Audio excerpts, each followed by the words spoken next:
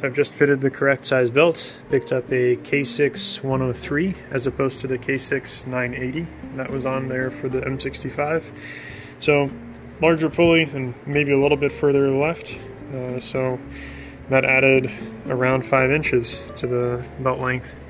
And the tensioner looks to be in a good spot. It's um, maybe a third of the way extended as it sits. Just about ready for a uh, test start. So I've hooked up a very short section including a MAF sensor. So intake is all sealed up, all NA. It just happens to be going through the intercooler. I've also wired up this 12 volt battery to activate the AC clutch. So I've got it hooked up to a switch. When it's not clutched, you can turn the rotors independently or they can be standing uh, still. When it's clutched, it's all one unit. So let's uh, start her up and see what happens.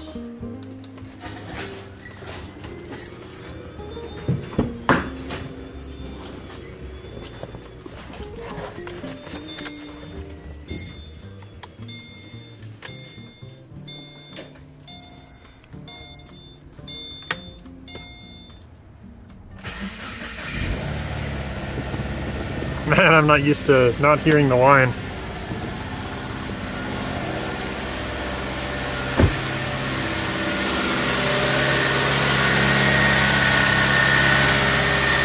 whine. Alright, let's activate the clutch.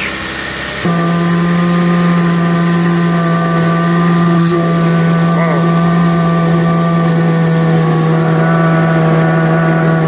It blows.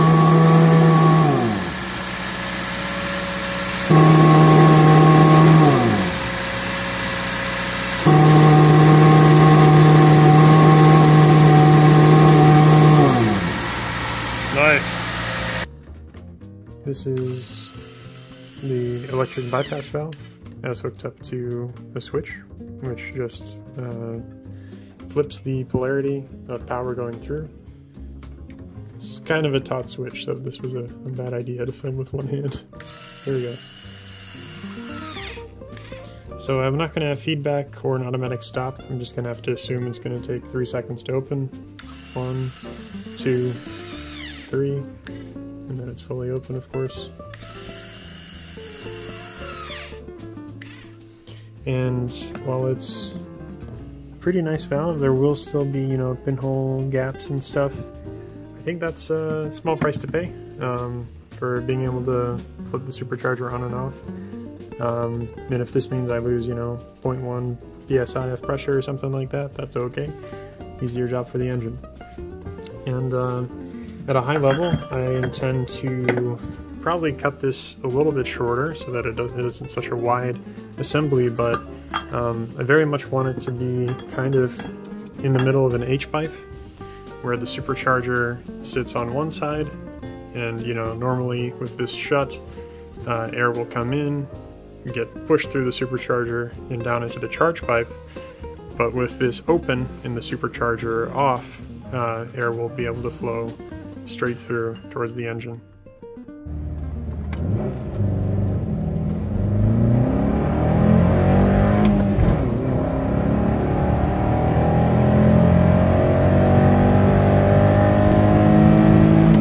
Well, that was an enlightening test drive. Um, I just drove the car NA with this filter, the factory MAF, the same one I'd been using for the supercharged setup, and then charge pipe down through the intercooler at the front, up into there, and into the throttle body over here.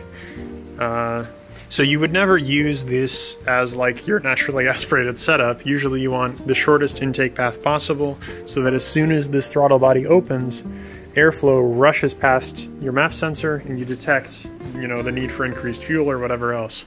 I think that this very long feedback loop caused some drivability issues with the NA setup. You didn't constantly have this like rush of air uh, from the supercharger and um, the car struggled to idle. Uh, I think once you're at you know a steady throttle or whatever, it was fine. Um, but this does tell me that you know once I have everything set up with the SC14 and superchargers working and I've got my bypass valve, etc., I might not have very good drivability if my NA intake path is you know this long-winded. pun intended. Uh, so I think what I want uh, instead is for the bypass valve to not just bypass the supercharger, which it must do to function as a bypass valve, but I think I want it to also bypass the intercooler, like the whole, most of the length of the charge pipe. So I'm picturing a setup where I've got my cone like here somewhere near the cold air intake, right behind it a mass airflow sensor, somewhere near by that the PCV return, right? And then I think I could imagine having the H pipe so that, uh, you know, once shut, the path goes into the supercharger, but once open, the path goes, I guess, all the way to the throttle body. Um, so instead of a single elbow here, more of a Y shape, where when it's running in supercharged mode, there's no path from here straight to the throttle body, uh, and the air has to take the long way around through the intercooler. But when in naturally aspirated mode, air can just take the shortcut and re-enter the throttle here as well. I don't know if there's any implications for having air travel towards the throttle and then kind of go down a dead end and bounce back or anything like that.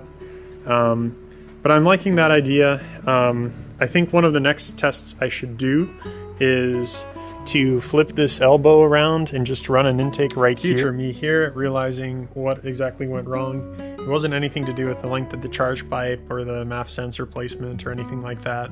It's the fact that I had uh, been running with a vacuum leak.